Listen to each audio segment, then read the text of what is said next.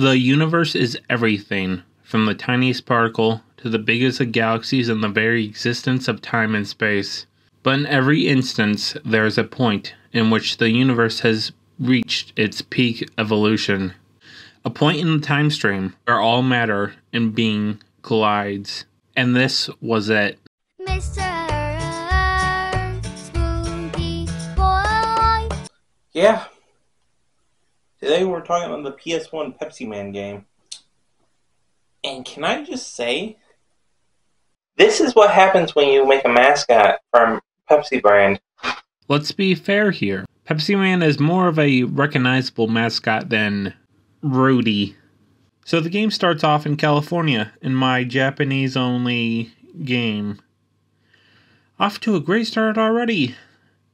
Let's just get past this scene and oh god, he's coming right for me! Then we get to the first mission where we're filling up a vending machine so that people don't riot. And the gameplay is an endless runner in 1999. So it's good.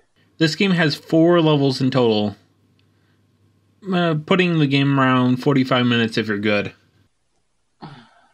I spent over a hundred dollars on that game. Ugh. all right, let's just calm down and see how this game can be used as a tax write-off. Pepsi and hamburgers, delicious and helpful. You know, after all this talk, I am getting quite thirsty for a Pepsi. What? This game just doesn't work.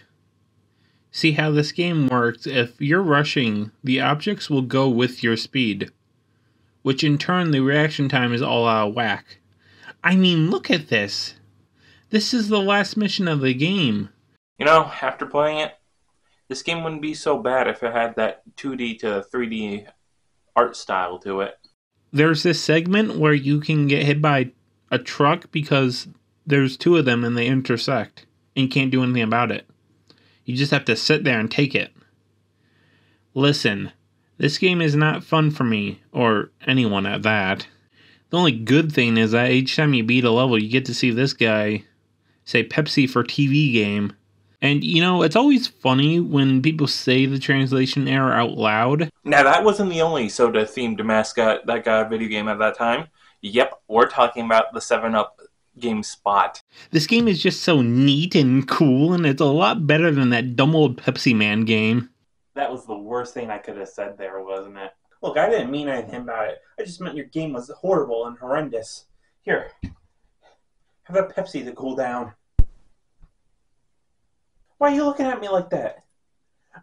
The Pepsi Man game is just, well, it's hard to explain how a bad game is without actually playing the game. Wait, that's it! This game is bad, but you don't have to slander the great Pepsi. Well, it's better for me to do it since I'm a virgin. But next time, if you cross me, I'll turn you into Pepsi. You can do that? Prove it.